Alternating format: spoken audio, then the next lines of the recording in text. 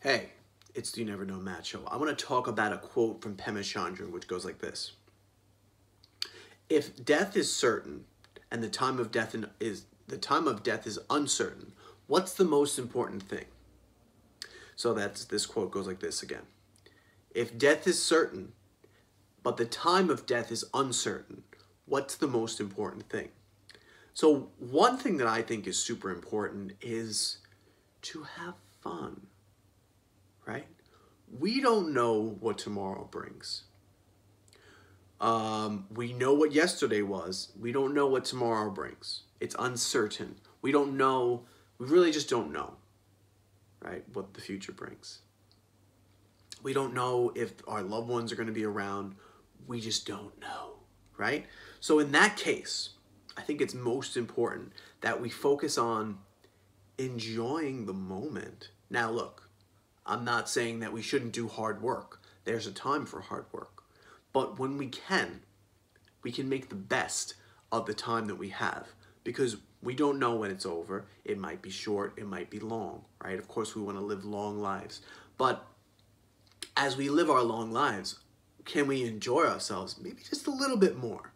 Maybe we just go for a little bit more freedom, a little bit more social freedom, not being so serious all the time. Letting go. Excuse me. Letting go.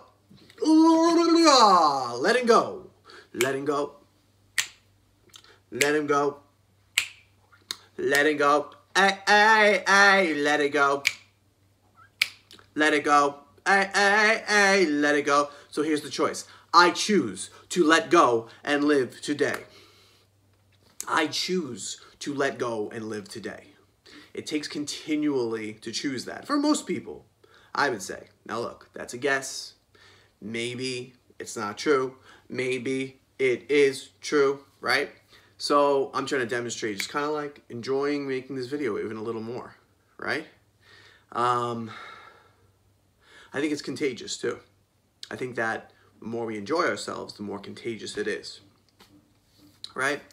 So uh, as an aside, I'm trying to figure out the like what my unique strength area is. Like how could I make this super entertaining but like subconsciously educational. Like you watch it and you don't even realize you're watching an educational video. You're just watching something that's like interesting and fun. Um, so Einstein said that mystery is the most important thing that we can um, experience.